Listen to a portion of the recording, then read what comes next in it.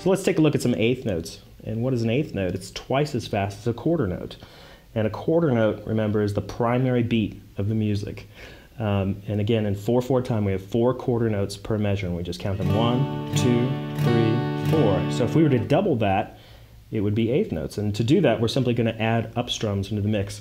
And again, this is not going to sound like a very exciting strumming pattern yet, because we're just developing the basic rhythm. Um, but if I'd go down, up, down, up, down, up, down, up, that would be one and two and three and four and. And that takes the same amount of time that it would take to strum four quarter notes. One, quarter notes, eighth notes,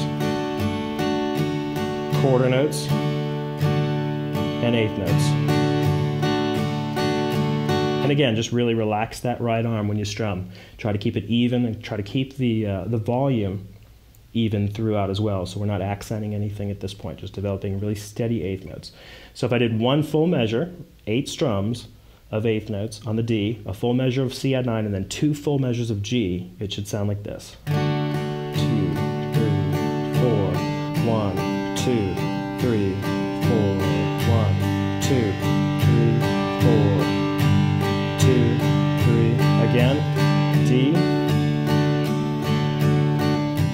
G9, and G.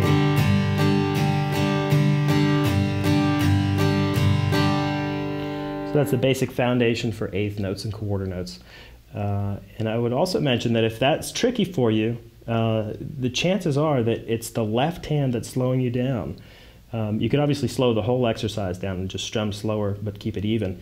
But if you're having trouble switching between the left hand chords while you're strumming, that's a good indicator that you really need to break these two uh, parts, that what the left hand's doing and what the right hand's doing, into two completely separate exercises, where you could just count with the chords one, two, three, four, one, two, and so on. So you're just watching your fingers move on the fretboard as you count and try to move them in time. And then just with the right hand, you could just mute the strings and just practice that even eighth note strum. And that doesn't sound too difficult, but it's actually kind of tricky for most beginners to keep really steady eighth notes. And it is a critical part of the development of good rhythm. And uh, so let's take a look at some more interesting uh, strumming patterns in the next clip.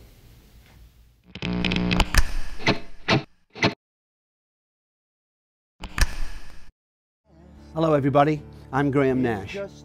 I'm about to try and show you my song, Teach Your Children. Teach your children well, their father's hell.